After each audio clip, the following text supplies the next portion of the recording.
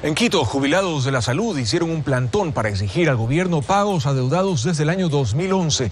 Se trata del pago de una bonificación que dispone la Ley Orgánica de Servicio Civil y el Código de Trabajo para quienes se acogen a la jubilación por el IES o patronal.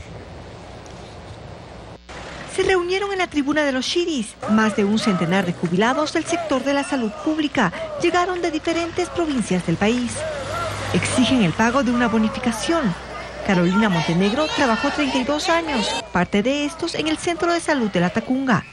Consuelo Casares dedicó 36 años de su vida al Hospital Pablo Arturo Suárez de Quito, mientras Clemencia Morales laboró más de 30 años en el Hospital Rafael Serrano de la Libertad.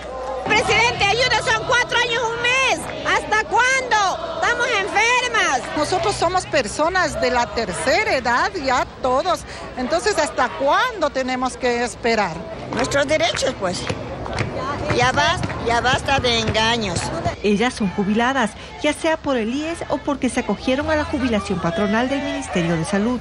Son parte de las 1.900 personas que si bien reciben su jubilación, ahora exigen se cumpla con el derecho a una bonificación que por ley les corresponde. ¿Qué consiste en una cantidad de dinero establecida en la ley para quienes nos hemos acogido a la jubilación los jubilados caminaron hasta los exteriores del Ministerio de Trabajo, donde continuaron su protesta. Ahí estaban reunidas autoridades de los ministerios de Trabajo y Salud con representantes de los jubilados. Es un monto de 200 de unos 210 a 220 millones para todos los trabajadores porque es una deuda que se mantiene desde el año 2011 hasta el 2016. No es nuestra responsabilidad que no haya el gobierno planificado. De parte del Ministerio de Salud nos han informado que una vez concluya la reunión evaluarán si se realiza un pronunciamiento.